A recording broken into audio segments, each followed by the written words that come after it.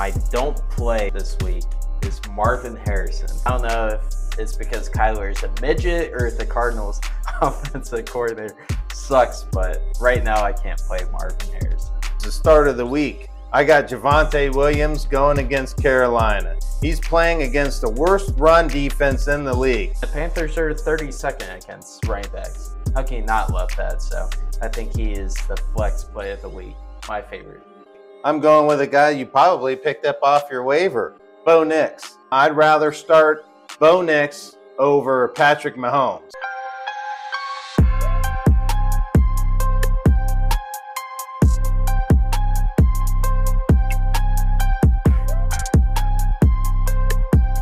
What's up, everyone? Welcome back to Catching a Vibe. I'm your host, Drew, joined by my co host, Mike. Uh, today is the week eight starts and sits videos. How are we feeling about week eight? I'm ready for, for week eight to get started. It's kind of hard trying to figure out who you want to start and sit with the injuries out there. Mhm. So we'll see what you have out there. Hopefully, we can give you some good recommendations on who to start and who to sit. Mm-hmm. All right, so we're going to start off with quarterbacks, and my QB start this week is Jordan Love versus the Jags. Jordan Love has the best matchup this week, 32nd ranked defense against quarterbacks, and I'm gonna just be honest. Every time I look look and see who the Jags defense is playing, and if that quarterback's elite, I'm going to pick them most of the time. Uh, I think Jordan Love's elite. He's had some pretty good games since he's been back from injury. He had 28 points versus the Vikings, and then 25 versus the versus the Cardinals. And the Jags haven't stopped nobody. I mean, Caleb Williams had his best game versus them too. So I like Jordan Love versus the Jags. That's a very good play. That's right. Uh, Jordan Love is a great quarterback, and it is a great matchup. The Jags are they're towards the bottom of uh, the list on defense, so I like that. I'm excited about this play. I'm going with a guy you probably picked up off your waiver, Bo Nix. He's going against the Carolina Panthers. He's going to have a big week this week. They're 30th in total defense uh, that they're going against Carolina. They're 25th against the pass. They've given up 14 touchdowns. So I, I really love this matchup. This is going to be, I think, a smash play for him. I'd rather start Bo Nix over Patrick Mahomes. So I'm definitely going to put Bo Nix in my lineup mm-hmm. because Carolina's last in scoring defense. They're giving up 34 points a game. They've given up 28 touchdowns already this year. So I think he's going to have a very big game. Yeah, yeah, that's a good one. All right, so now we're going to do our quarterback sits, and my quarterback sit this week is Kyler Murray. Kyler's been very hit or miss this year. He has scores of 14, 28, 14, 9, 24, 11, 20. And Now he's going up against the Vikings, who are number one against quarterbacks in fantasy, defensive numbers. They're fourth in yards per game and first in passing yards per game. Uh, hit or miss kind of quarterback. He has big weeks or he has bad weeks. So he's a good sit. My sit is going to be Baker Mayfield. I mean, this guy has just lost his top two targets on his team. I mean, I feel bad for Baker. He's going against the Falcons. Falcons are the middle of pack defense. They're not that bad. I think they're going to slow down, and I think Baker's going to scale back a little bit and not produce so much this week just because of what they lost. They lost too much, two incredible Yeah. receivers. So I'm going to sit Baker Mayfield this week. Very bad break for the Buccaneers. I mean, uh, they were looking like one of the top offenses in the league Mhm. with uh, Mike Evans and Chris Godwin. That's a shame that he, both those guys are out for some Yeah. time. Yeah. All right. So now to the running back position. And my running back start is Kareem Hunt versus the Raiders. Kareem has been pretty good for the Chiefs so far with 10 points in his first game. You know, he was just coming off his couch. Then he had 18, then 22 against the 49ers. Now he plays the Raiders. And if we're being honest, they're not good. Uh, Minshew has been playing really bad this year, and he's been putting the Raiders defense in bad positions by terrible interceptions and fumbling the ball. I think the Chiefs are going to win pretty easily, and they're going to run the ball a bunch with Kareem Hunt this week. I agree with you. My start was one of my starts was Kareem Hunt.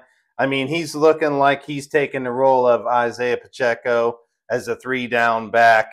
Uh, last week, he had 22 rushes for 78 yards, two touchdowns, two receptions. So I love that, right?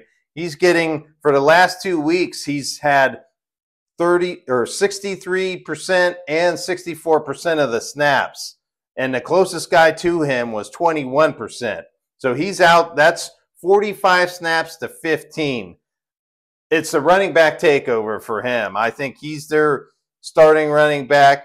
Like he said, they're playing against the Raiders. The Raiders are in tank tank mode for a QB next season. I, I just think that it's a great matchup with Kareem Hunt. He's one of my starts. So my other start, I think, is the start of the week. I got Javonte Williams going against Carolina. He's playing against the worst run defense in the league. They're 32nd. They're giving up 162 yards, 13 rushing touchdowns. This is a great matchup.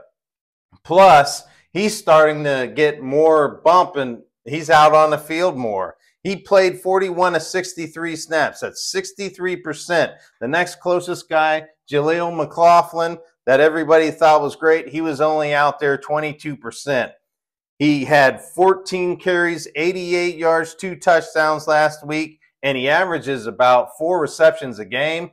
I want to get Javonte starting, and I want to start him this week. He's the start of the week for me. Mm-hmm. That's a good one. All right, now my running back sit is Tony Pollard versus the Lions. The Titans stink, and I see the Lions will be leading the whole game, and I think that's going to make the Titans have to throw the ball more and less opportunities for Pollard. Losing Hopkins causes more attention to Pollard for defenses, and the Lions' defense is second against running backs. So I I can't play him this week against the Lions. Yeah, he was my sit. He's one of my sit. Also, you're right. The Lions, they're fifth against the run. Like you said, they're second best on uh, not giving up points to the running back position. Uh, I just think that they're going to struggle. He's really the only spotlight on this Tennessee team.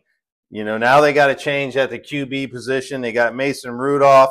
Detroit Lions are going to dictate this game. They're going to slow them down and, and stop him. So one thing I wrote down was people I would rather start over him.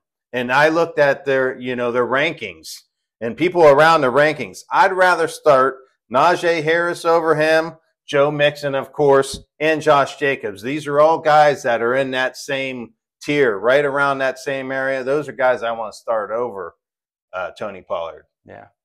I agree with those three players. All right. Now we're going to go to receivers. My start of the week is Romeo Doubs versus the Jags, a guy you probably just picked up. The Jags are terrible. I was talking about how Jordan Love is a good play. I think his number one receiver, mm-hmm. Romeo Doubs is a great play. The Jags are 31st against the pass. I think Doubs is going to have a good day against the Jaguars. I agree. Like you said, they were 31st against the pass. They're giving up 273 yards a game. They've given up 16 touchdowns already this year. So he is a good start. I agree. So I looked around up and down the, the waivers or trying to find out a good receiver to start. This guy's been under overlooked. George Pickens. He's going against the Giants. I think uh, he's been flying under the radar. He's actually put up good stats when you look at it. He's averaging about eight targets a game. Last week he had 22 fantasy points, and with Russell Wilson behind there being a quarterback, I think they're going to. He likes throwing the ball a lot more. I think Pickens is going to have a big game, and I think it's really going to make him for the rest of the year projections is going to have a good season yeah. with Russ being the uh, quarterback. The Giants' defense is not very good. I mean, they're decent against the pass, but I just think Pittsburgh is going to throw the ball and have a good day. Mm-hmm. Russ is starting to cook for the Steelers. All right, now my receiver sit is Terry McLaurin versus the Bears. I don't like Terry this week because Mariota is starting, and the Bears defense is really good. They're second against quarterbacks and seventh against receivers. They have Jaylon Johnson. He was a Pro Bowler last year, or All Pro. He's going to be following Terry the whole game. I don't like it one bit. And the Bears defense is only allowing 16 points per game. Now they're going up against a backup quarterback. So I I don't like Terry this week because of that. He was one of my guys that I wanted to sit. Also, like you said, the Bears defense is pretty good. The Bears defense is seventh against the pass. They're not giving up much production there. Uh, like guys, I would rather start over Terry McLaurin since I looked at their rankings. Brian Thomas Jr., Tee Higgins, and DJ Moore, three guys that I'd rather start over Terry McLaurin. And he was sandwiched in between these guys. So there are guys that I definitely want to start over Terry McLaurin. Mm-hmm. So the guy I want to sit, another guy I want to sit is Diontae Johnson. He's going against Denver. I think the uh, clock has struck 12, and Andy Dalton and the Carolina Panthers has turned into a pumpkin, yeah. right? Well, Denver's, Bryce, Bryce Young starting this week. Oh, that's right. They, they are going with Bryce with Young. That. So whoever the quarterback is, Denver's defense is uh, fifth against the pass, second, second, and giving up points to the receivers. Uh, so it's just a smash sit for me. Guys, I'd rather start over Diontae Johnson, Amari Cooper, JSN, and Darnell Mooney are guys that I would start over top of uh, Diontae Johnson. Okay. So now we have our tight ends, and my tight end start is Dalton Kincaid versus the Seahawks. I like Kincaid a lot more now that Cooper is a Buffalo Bill. I think he frees up a lot of the defense attention and less doubling for Kincaid. He's getting a good amount of targets. I mean, six, seven, six. I think the Seahawks DBs are going to take away the receivers this week. And I think that gives Kincaid to have a opportunity to have his big week this week. So I like Kincaid. Yeah, he's a good good play. He's actually the production is starting to ramp up. He's getting more snaps, more targets, more looks. He's definitely a good play. So my start is David Njoku. I think even with Watson being hurt and done, Jameis Winston's going to come in and he's going to have to throw the ball. They're playing Baltimore's defense. The only way to attack Baltimore's defense is through the tight ends. That's their weakness. They're 27th against the tight ends. So that's their only weakness. They're going to have to throw the ball to stay remotely in this game. Uh, last weekend, Njoku had 14 targets. Yeah. 10 receptions, 76 yards, and a touchdown. I think this is the only way the Browns move the ball is thrown in Njoku. So he's my start. Mm-hmm. All right. My tight end sit is Jake Ferguson versus the 49ers. What disappointment this Cowboys offense has been this year. I think the 49ers are going to be pissed off that they lost to the Chiefs again. I think they're going to take it out on the Cowboys. They own the Cowboys the last couple of times they beat the Cowboys. Uh, I think Fred Warner's going to be guarding Ferguson most of the game. And I just think the Niners are going to cruise past the Cowboys this week. I agree with you. I was at the beginning of this year, I was high on the Dallas Cowboys offense. You were. Uh, Jake Ferguson was one of those tight ends that in the top 10, I thought was capable of finishing in the top five as a tight end. Mm-hmm. Uh, so you're right, a disappointment. I would definitely sit him until they start proving otherwise. So my sit is going to be Pat Freiermuth for the Pittsburgh Steelers. They don't even look his way. He's a non-factor. Everybody likes to think he's going to be good, but they just they keep looking the other way. He's only averaging about three targets a game, non-production. I just don't want anything to do with uh, Pat Freiermuth. He's a sit for me. Yeah. All right. So my flex play of the week. You talked about this guy already. I'm going Javonte Williams versus the Panthers. He had a great week against the Saints 14 carries for 88 yards and two touchdowns. He talked about he got what 60%, 70% of the snaps. Mm-hmm. Um, now he's playing the Panthers, and the Panthers are a dumpster fire right now. They're starting Bryce Young again. So I like this Broncos offense getting a lot of opportunities to be in the red zone and Javonte to get goal line carries. And the Panthers are 32nd against running backs. How can you not love that? So I think he is the flex play of the week, my favorite. That's very good. He's my start of the week, so Yeah. we agree there. Yeah. So uh, my don't play flex this week is Marvin Harrison. Kyler, I'm not a fan of. Marvin Harrison's been disappointing so far. Um, it's not all of his fault, but there's concern because he's getting lack of targets. Uh, the last three games, he had two catches, zero, and three catches. I don't know if it's because Kyler is a midget or if the Cardinals offensive coordinator sucks, but right now I can't play Marvin Harrison. Yeah, he's way too inconsistent. What a what a bust. I I almost want to tag him as that. You know, everybody drafted him in the first round, and he's only putting up three points a game. You just really can't afford to play him. He's definitely a sit yeah, until he starts. And if he's on your bench and he puts 20 points up, oh well, more times than not, it's going to be a low number. So I definitely sit him. hmm And uh, lastly, I have a waiver wire play I like. I like Jalen McMillan or Sterling Shepard versus the Falcons. Godwin is out for the year, Mike Evans won't be back till week 12.